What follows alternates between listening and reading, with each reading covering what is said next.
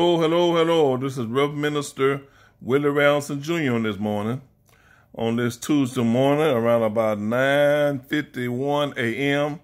On this Tuesday morning, June the 8th, 2021. And I come to bring you the word on this morning. I come to bring you the word again on this morning. And reading from the Holy Bible, King James Version, please. First Corinthians, starting at chapter 6 in the New Testament, First Corinthians chapter 6 in the New Testament, and starting at verse 9. Verse 9. And it says, Know ye not that the unrighteous shall not inherit the kingdom of God? Be not deceived, neither fornicators, nor adulterers, nor idolaters, nor effeminate, nor abusers of themselves with mankind, nor thieves, nor covetous, nor drunkards, nor revilers, nor extortioners shall inherit the kingdom of God. Neither one of these people who have not repented from these sins and that are still doing them to this day, or until they leave this world and have not repented and have not received our Lord and Savior for their Lord and Savior, our Lord Jesus Christ. They have not received him, the Son of God, for their Lord and Savior. And they're still doing these things that I just read that Paul mentioned here in 1 Corinthians chapter 6. They will not inherit the kingdom of God. It's right here in the Bible. This is Bible. Okay, verse 11, and it says, And such were some of you, were some of you. You're not still this no more. When you've been born again, you're not these things that it mentions anymore. When you are born again, you don't do these things anymore. You don't have to worry about you uh, not going to go to heaven. Because as long as you repented from these things, you don't have to worry about it anymore. You will be going to heaven when you have repented from these uh, sins I just mentioned, and you have received Jesus Christ, our Lord and Savior, for your Lord and Savior, and you have repented of your sin. You will go to heaven, but you will not go to heaven with these titles of sins in your life, and you still doing them. Okay.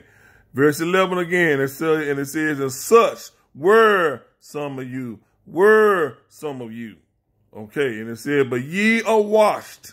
Since you turn to Jesus, Jesus washed away your sins. We turn to Jesus, he washed away our sins. We are no longer these sinners by these titles. Hello. And but ye are sanctified. I mean, you set apart. Sanctified mean you are set apart. You don't do like the world do these same sins no more. You don't do what the world of people do anymore. And the Bible said, come out from among them and be ye shepherds, said the Lord. You don't, you don't have no uh, fellowship with the unfruitful works of darkness. You don't hang with these kind of people no more as your so-called buddies and friends no more. Come on, y'all. You're not in the streets hanging with these kind of people that uh, do these kind of sins, that have fellowship with darkness with these kind of sins no more. Hello, y'all. It says, such were some of you, were some of you, but you're not this no more. It said, but you're washed, but you're sanctified. You set aside from the world like the true sanctified church, you know, is or was long time ago. You know, that's why they were called the sanctified church. Because the sanctified church didn't do what all the other churches did. They didn't go watching those sports arenas and sports programs and sports shows, you know, football, basketball. They didn't do all that. They didn't do all that drinking wine and they didn't do all that drinking beer either. They didn't do that. The real saints, they don't do that now. Shit, real saints don't do that now. They didn't do all that smoking cigarettes and, you know, they didn't do all that then. They're not doing it now. The church is still the same. God have not changed and his rules and his commandments and the word of God have not changed for this new uh, day and time, as y'all may put it. The word of God remain the same. Ain't no new way for the gospel. Ain't no new way for to, to live. Ain't no new way or nothing. The word of God is the same. The Bible said, God said, I'm the Lord and I change not. So God not going to change for no new day and time in 2021 and on in the future. God not going to change from the past to now into the future. God word remain the same. This is the same gospel that, that one young folks a long time ago is going to take this same gospel to win young folks now. There's no good excuse to take on this modern day and time what y'all call modern day and time, this modern preaching and this modern so-called living and do what you want to do, when the thing goes and and y'all don't want to believe that holiness is right, but holiness is still right in the past, present, and future. Until the end of the world, holiness is still going to be right. Being sanctified is still going to be right. That's another word for sanctified. Holiness, holy. Come on, y'all. Set aside. You don't do like the worldly folks do. And why the holiness church, the real holiness church, I don't want to see it no more like I used to see. I don't to see it no more like they say. It's a lot of names called holy, but they ain't really holy. They do like all the other churches do that don't even be called holy. So I say I don't really see that many holiness churches like I used to see, uh, like they talked about that, that existed and on and on. Okay, holiness is sanctification. Sanctification is holiness. You don't do like the world. You different. That's right. God's people are different. We are different. That's why we get stirred at. We get washed and people do things maybe to provoke us to anger or try to provoke us to anger and they want our attention. They want us to see them. They, they want to look at us and where we go because we don't watch and play sports. Real saints, we don't have nothing to do with your watching, playing sports, your football, and we don't drink and smoke no liquor jugs with you with that beer and whiskey, ferment and wine. Liquor jugs. Hello. That's what that is. Legal to buy, legal to sell. That's why this country going to hell. I still say it. Hello. So we are different. That's why we get stirred at the real saints. We get stirred at, but all of y'all who do what the world do, they're not staring at you as much. They're not stalking you to your job like they do me. they're not following you to your house and waiting on you like they do me. You know, because you just like the world. You watching football with them. Uh, you playing basketball with them. You watch all that with them and you do like them. All these other kind of ball playing you do with them. So the world is not thinking you a big deal enough to be watching because you're doing like they do. Okay. When the devil got you, why, why should he be after you as much? Why should he persecute you as much? Come on, y'all. And a lot of church folk doing just like the world. So that's why y'all don't get persecuted. But the Bible said all that live godly in Christ Jesus have suffered persecution. And living godly is being sanctified and being holy. Come on, you don't do like the world. Sanctified means you set apart and you are different. And the word of God said in the Bible, it's right there in the Bible, it still says, the God said, be ye holy, for I am holy. And he says, set a difference between holy and the world. He says, set a difference between clean and unclean. He says, set a difference between holy and unholy. And a lot of y'all are not doing that. And a lot of y'all claim you got the Holy Ghost or you got the Holy Spirit and, and everything else you can say. But it's not for me to judge, but the Word of God is judging. Come on. The Word of God judge you. I say what the Word of God just said. I said what it said. I'm just saying what the Word of God says. So God judging you. The Bible judge you. While you trying to judge a preacher, the Bible judging you. Hello. Okay, going back to the First Corinthians chapter 6. Okay, going to verse 11 again. And it says, And such were some of you. You're not there no more. But ye are, ye are washed by the blood of Jesus. But ye are sanctified by the word of God and the blood of Jesus. But ye are justified. Jesus died on the cross. The Son of God, Jesus Christ, the Son of God, suffered and died on the cross to set us free from the sins of this world.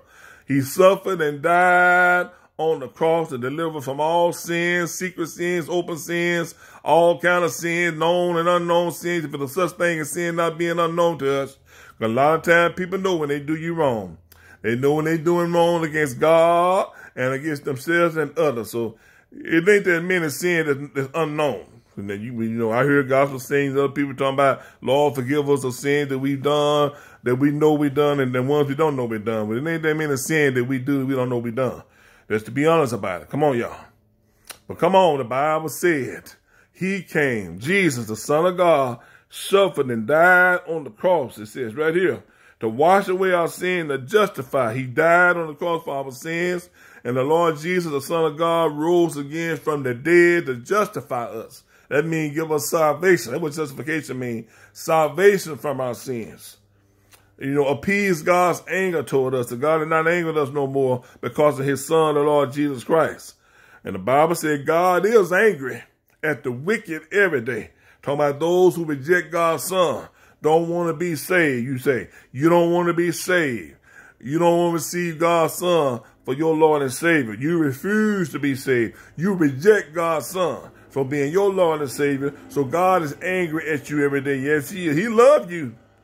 He loved you. He take care of you. God said he rains on the just and the unjust. He blessed those that are saved and those not saved. He sees you, that's God bless you with your prosperity. That's God bless you with food to eat and shelter over your head. And they're other blessings. You can breathe, you can walk, you still alive. That's God blessing, whether you saved or not saved. But he still loved you, that's right. For God so loved the world that he gave his only begotten son, that if you will believe in him, you will not perish, but have everlasting life. And that life is in his son, the Lord Jesus Christ, for salvation. Come on, y'all. That he, suffered, that he suffered and died on the cross. That he died on the cross for your sins. And that he rose again from the dead to save all men, women, boys, and girls from their sins. Amen. Call his name Jesus and be born. The angel said, You shall name your child Jesus, for he shall save his people from their sins and all people from their sins when they turned to him. But salvation came to the Jews first and to us Gentiles and it's all over the world. He come for everybody now. Come on, y'all. And Jesus said this. And the Bible said this. He was justified. He justified us. He said, but ye are justified in the name of the Lord Jesus. And there's salvation in no other name. There's no salvation in Buddha. It's not in no Quran. It's, it's not in your Allah. Come on. There's salvation no other name except in the name of the Lord Jesus Christ. There's salvation no other name, the Bible says. There's salvation only in the name of Jesus, the Son of God. There's salvation only in the name of the Lord Jesus Christ, the Son of God. There's salvation no other name under heaven. You hear me? That's the word of God. Because he the one that came to pay the price for our sin. And by the Spirit of our God, the Holy Ghost, it takes the Holy Ghost to draw you. You hear me? The Holy Ghost will draw you. And when you draw by the Holy Ghost, don't reject him. When you are drawn by the Holy Ghost, receive his drawing and come to Jesus as you are.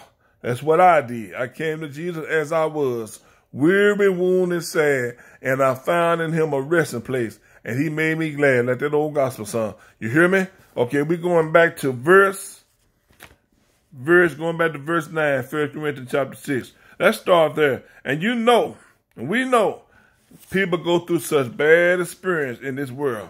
We people go through such bad experience that we heard of, and some we never heard of, and some that we would never hear of. That children are going through every day. All these these these beautiful children, these in the schools and everywhere, going through some bad experience that we may never know of, and some we do know of, all through the history of this country and the world, and other people they do the thing they do for a reason. People live the kind of life they live for a reason because Satan has brought evil one way or the other to every one of our lives. You hear me? The Bible says we all born in sin and shaped in iniquity because of Adam and Eve, because of Adam's sin. You hear me? And the devil came to bring destruction and evil on everybody in this world. He wants us to hate each other.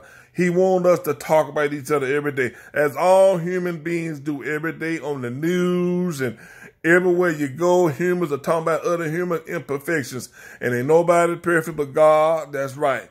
Even though he said, be ye perfect, for I am perfect. He means grow in grace, grow in grace, grow in grace, grow in his son Jesus Christ to perfection. Because even Apostle Paul said, daily, I die daily. How come we die daily, Apostle Paul, as the word of God was speaking through Apostle Paul in the Bible? He said we die daily because we are dying to this flesh and we're being perfect day by day, becoming perfect, that is. And we're not going to be completely perfect till we go to heaven and have our glorified bodies because long as we're in this flesh, Apostle Paul said that too. He said, my flesh is no good thing.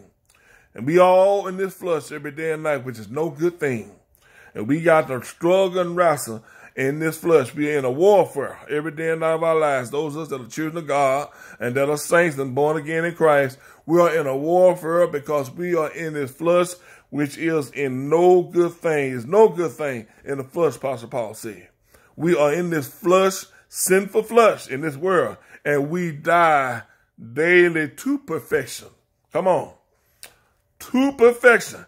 And we not going to be completely perfect like God Almighty until we die in this world out of this, un, out of this body that is corruptible. And we and then we'll get the incorruptible body, like the body of Christ. Come on, y'all. a glorified body Jesus said we will have, where there is no sin and no imperfection. We'll be perfect then. Hello. Let's be real about it now. But God understands why people do what they do. God is an understanding God. He's an all-wise God. He knows why people do what they do. People been through such bad experience as children.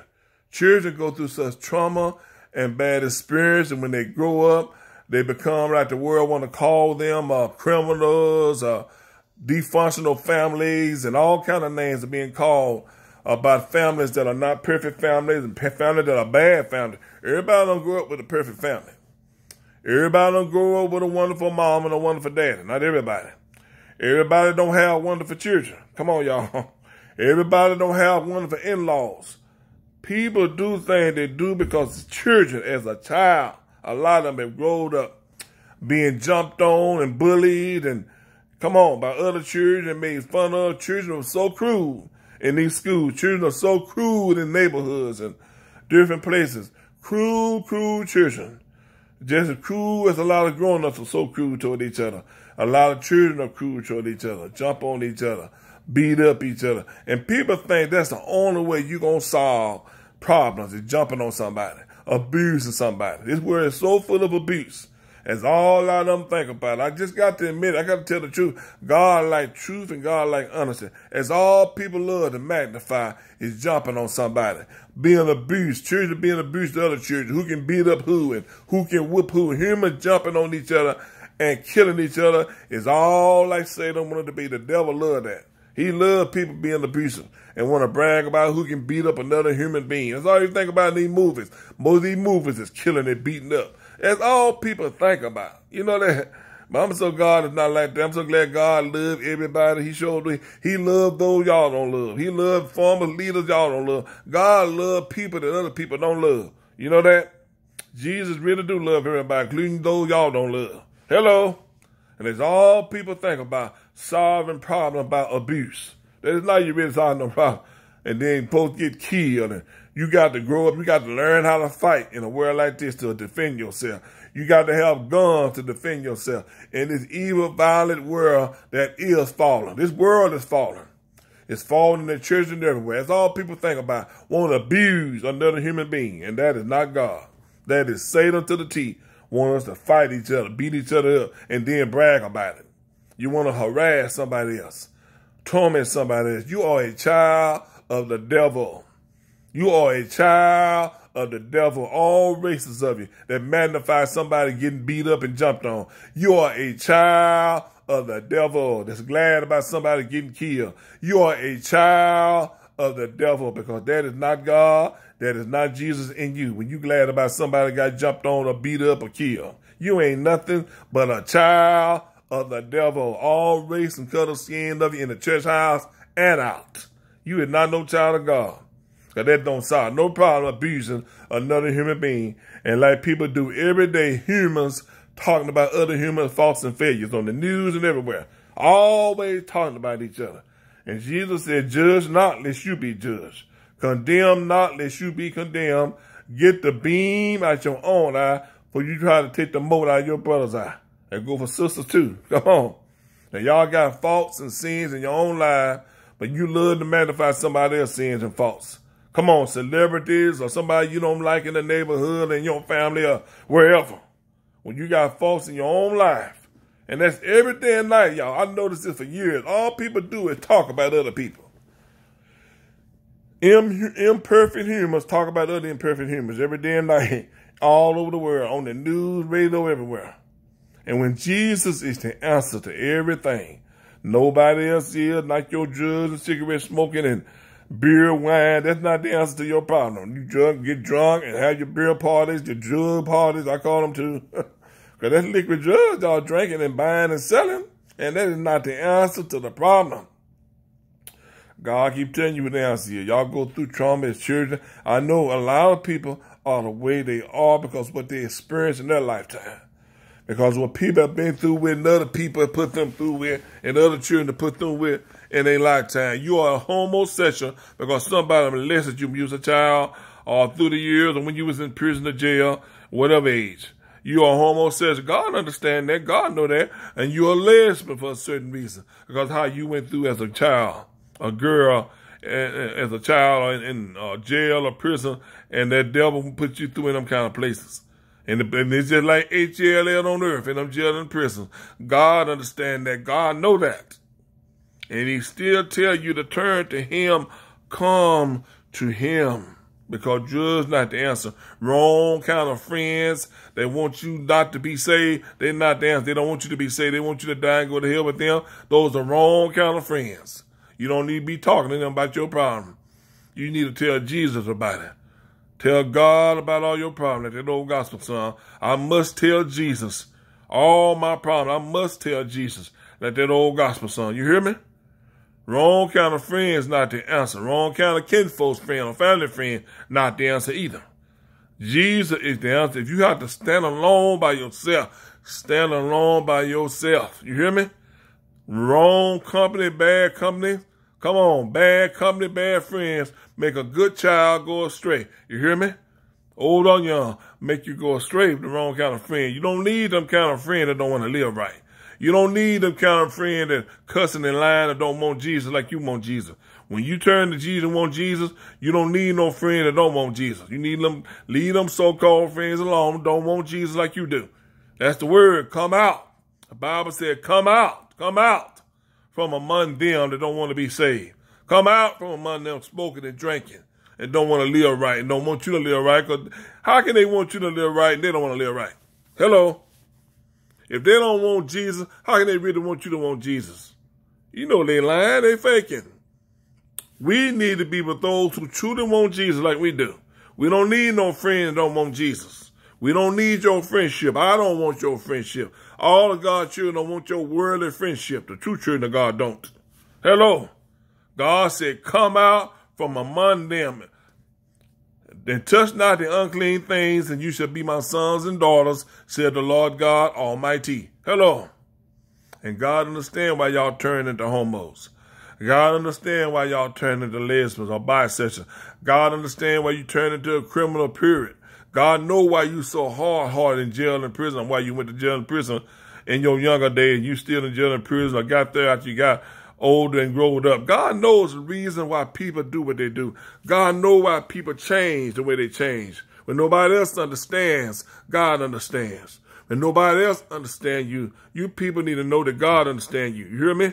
And you need to know God will forgive you if the judge and the courthouse don't forgive you.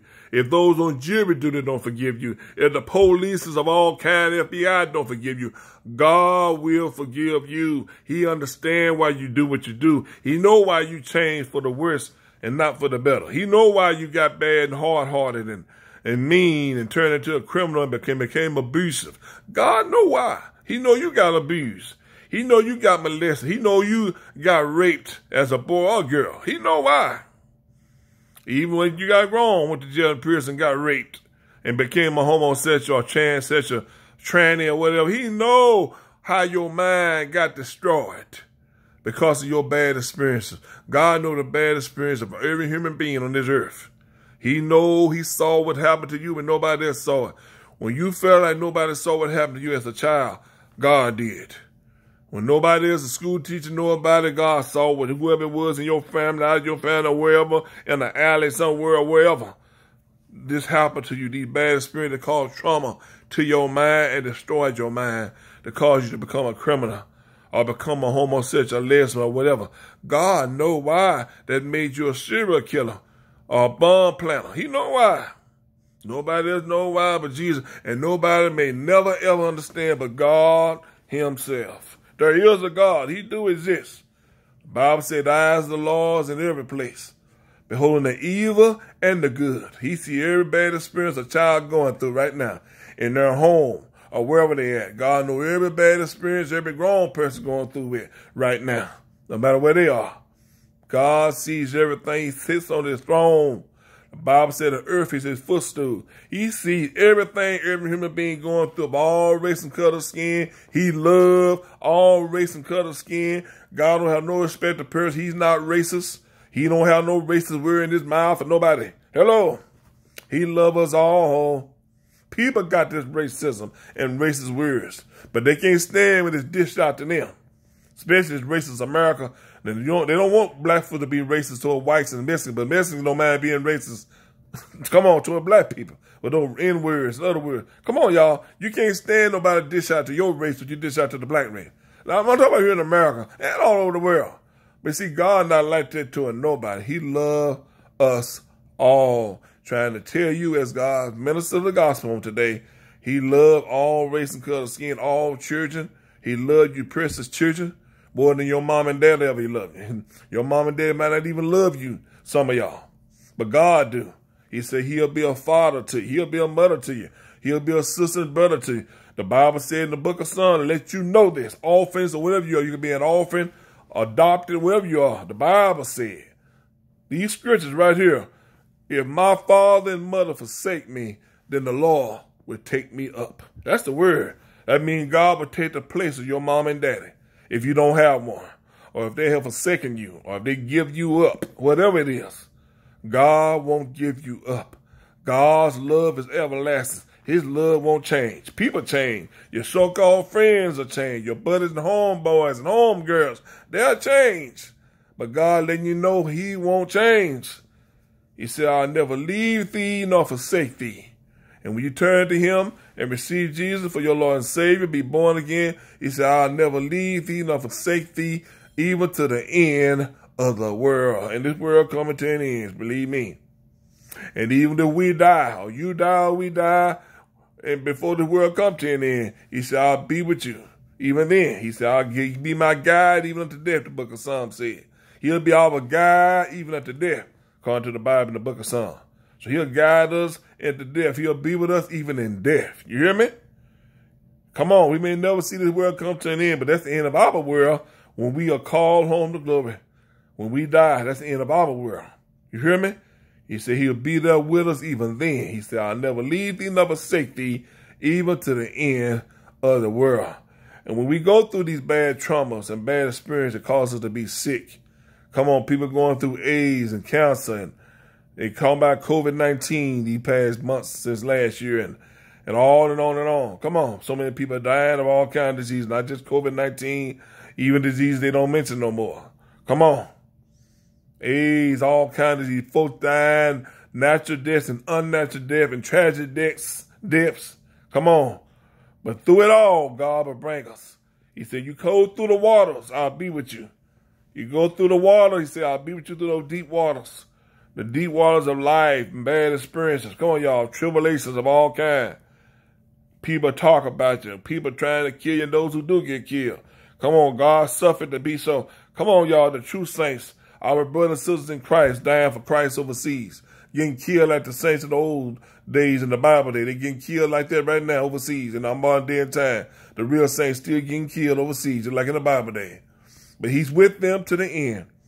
And God will let us live as long as he wants us to live. I'm going to live as long as God want me to live to preach this gospel. You hear me? That he called me to preach. You hear me? As God's gospel minister, I'm going to live as long as God want me to live. That go for all of God's children. You hear me? Plain and simple. He said, I'm the Lord thy God that healeth thee. He's the healer. He's the healer, not so much the doctor. God is the healer of the mind, soul, and body. Hallelujah. God is the healer of the mind, soul, and body. You hear me? By his stripes we are healed. And the Bible said the Lord is the preserver of life. The Bible said he's the one that keep us safe. The Bible said these things. You hear me? He's, the Bible says safety is of the Lord. He's the one that keep us safe. He's the one that spares our life. He's the one that got our life and our soul in the palm of his hand. Especially those that are his children. You hear me? Hallelujah. We are born in this world for a purpose. All color, skin, all races, all people are born in this world for the kingdom of God, and it's up to you to choose, up to us to choose whether or not we're going to serve God's kingdom or not. God give everybody the choice. Every man, woman, boy, and girl, he give us all a choice. He did not make us a robot. God is an all-wise God. He know not to make us a robot. Because we won't really love him if he make us a robot. He wants to truly love him and choose to live for him and choose to work for his kingdom and choose to receive his son for our personal Lord and Savior so we can choose to love him. Hello, and we love him. He, he know we do it by our own choice and we to love him. Hello, not like robots. So God give everybody a choice. So you choose to go to heaven or you choose to go to hell. After going through all this hell on earth, as a child, a lot of y'all been through bad experiences as a child, as a grown up. You're in prison, you're in jail, you, you're on death row because the world ain't going to forgive you for a lot of things, but Jesus will. I'm here to tell you, as God's gospel minister, I'm here to tell you God will forgive you no matter what your crime is or what your crime was. Because you got to face the death penalty.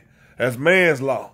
But God's word and law tell you that he loves you. He will forgive you before you die if you receive his son for your personal Lord and Savior, and you would go to heaven and leave this ugly world anyway. This world is falling in a way as why it had you falling. Because you went through bad experiences and, and the devil talked to you, you listened to the devil, or the devil took you over before you received Christ.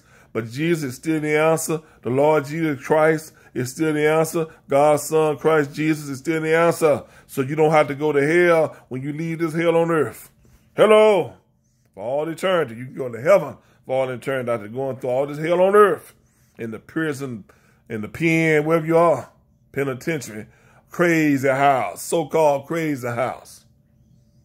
And Lord, we just ask you to bless these people, the mentally retarded children, the handicapped children, the, the autistic children, the autistic grown people, autistic teenagers, who they call mentally retarded. Lord, save their soul, we pray. In the name of the Lord Jesus, save the souls of all those that are in prison on today, those that are in the penitentiary today. Lord, we ask you to save their souls in the name of Lord Jesus Christ. Bless them to receive you, Lord Jesus, on today for that person, Lord and Savior. Bless all those in jail and in the penitentiary and those in the so-called crazy house, mental institution, mental hospital, mental wards and hospital everywhere and all over the world, that they have a mind to turn to you, Jesus that they be saved and that they be pray, God. In your name, Lord God, in the name of Lord Jesus Christ, in Jesus' name, that they believe the gospel Jesus right now. As they hear me today, that they receive you, that you suffered and died on the cross for all their crimes to mankind, to you. That you suffered and died on the cross for all their sins, no matter what it is, incest, whatever it is, molestation, or those who've been molested. Bless them to turn to you, Jesus and that they would they receive you, Jesus, for their personal Lord and Savior, and that you died the cross for their sin, that you rose again from the dead, and that you're coming back again, and they receive you, Jesus, for their personal Lord and Savior. I pray, we pray, in Jesus' name, as your minister gospel, God, I pray for these people right now today, all races and color skins of them, God, that they be saved. This is the devil that wants folks to have evil in their hearts toward former leaders or former who or toward me or whatever. That's evil. That's the devil. That's the sin nature. The sin nature want us to hate. The sin nature wants you to hate. No matter who it is you hating, that's the devil and that sin nature of yours. And Jesus wants to deliver you from it all, whoever you are, whatever you are. He's the only answer. Ain't no hate going to heaven. Ain't no hating former leaders like Trump or whoever, Biden, Fred President, President, whoever it is. Ain't no